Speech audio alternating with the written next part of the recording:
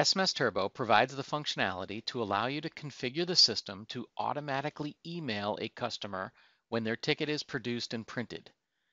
In the customer record, you will see a section at the bottom of the screen entitled Print and Email Settings. Here you have three different email functions, email tickets, email invoices, and include in bulk ticket email. Today we're going to focus on the email ticket function. If this is enabled, you can enter an email address or multiple email addresses if you prefer in the email address field.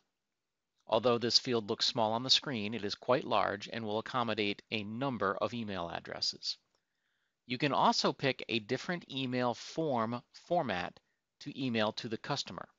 This allows you to have a different format of ticket that is printed for the driver opposed to that which is emailed to the customer's office.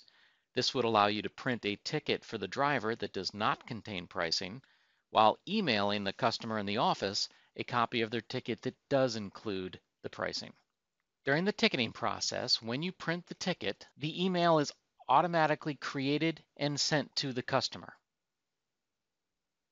Within seconds, the email should arrive in the customer's inbox and the received email will have an attached PDF file. The PDF file can contain barcodes, images, signatures, and any data relative to the ticket. Automatically emailing tickets to your customers is not only a huge time saver for your personnel, it can represent a valuable convenience for your customers.